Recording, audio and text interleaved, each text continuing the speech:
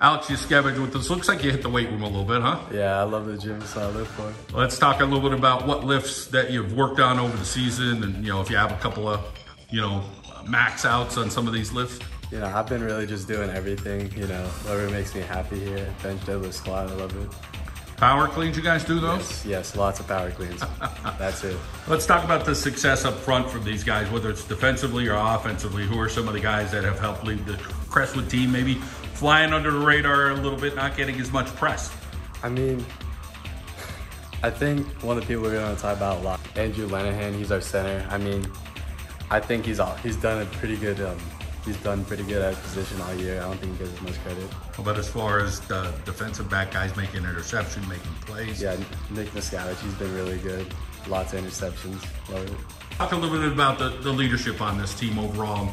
You know, who, who, are the guys that are the vocal leaders or guys who do it by example here at Crestwood? Uh, we got John Jones, Aiden Jardine, Chris Smolik. I think those have been the biggest leaders for me. They've done a really good job like guiding me like how to get to this position of where I'm at right now. How about family support for you? Who's who's there in the stands rooting you on, or when you get home, maybe giving you a little motivational talk? I think my dad's my biggest supporter. He's always been there for me, motivating me every step of the way. Let's talk about your relationship with the coaching staff. You're guys who know football, get after football, and uh, you know you, you hear Coach uh, Arcangeli's speeches. Those are nice, and you put them away in your head and kind of start thinking about them all week. Yeah, coaching staff, they've been really, they've been really tough on us. They've been motivating. Yeah, very good. All right, well, keep working hard. Thank you.